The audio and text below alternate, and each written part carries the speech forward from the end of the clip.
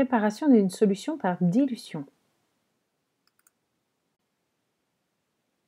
On dispose au laboratoire d'une solution aqueuse commerciale S0 dont la concentration en masse en soluté est gamma M0 et connue avec précision.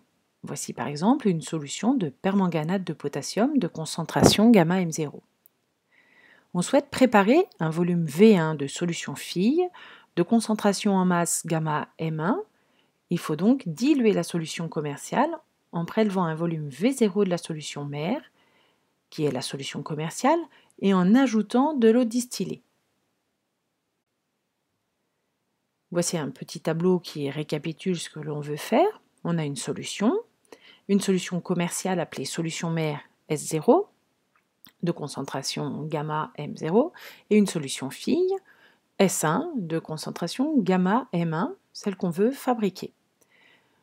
Le volume de solution mère va être V0 à prélever et à calculer, et on veut réaliser V1 de solution fille.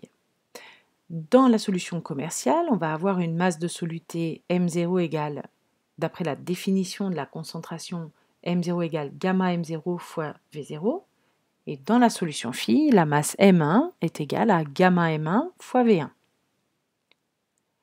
La solution mère est très concentrée, la solution fille l'est moins. Dans le cas de la solution de permanganate de potassium, on voit bien la différence de teinte. Le matériel à utiliser pour réaliser cette solution, il nous faudra une pipette jaugée ou graduée de volume V0 pour prélever la solution mère, une fiole jaugée de volume V1 pour fabriquer la solution fille, et une piscette d'eau distillée. Lors d'une dilution, la masse de soluté est conservée. La masse de soluté prélevée dans la solution mère notée M0 est égale à la masse de soluté que l'on trouve dans la solution fille notée M1.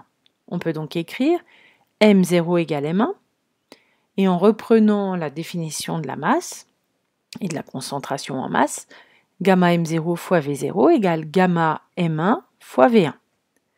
Cela nous permet donc d'écrire pour fabriquer un volume V1 de solution de concentration gamma 1, le calcul qui permet de déterminer le volume V0 de solution commerciale à prélever s'écrit V0 égale gamma M1 fois V1 divisé par gamma M0 avec gamma M1 en grammes par litre, c'est une concentration en masse, V1 en millilitres ou en litres, gamma M0 en grammes par litre, ce qui va nous donner un volume V0 en millilitres si le volume V1 était en millilitres ou en litres si V1 était en litres. On va donc prélever le volume V0 avec une pipette jaugée ou une pipette graduée. La pipette jaugée est plus précise que la pipette graduée, donc on utilise la pipette graduée si le volume V0 à prélever n'est pas celui d'une pipette jaugée disponible au laboratoire. Par exemple, si on doit prélever 7 ml, il n'existe pas de pipette jaugée de 7 ml. On place la solution commerciale dans un bécher de réserve. On rince la pipette jaugée une fois avec la solution à prélever. On jette le premier prélèvement.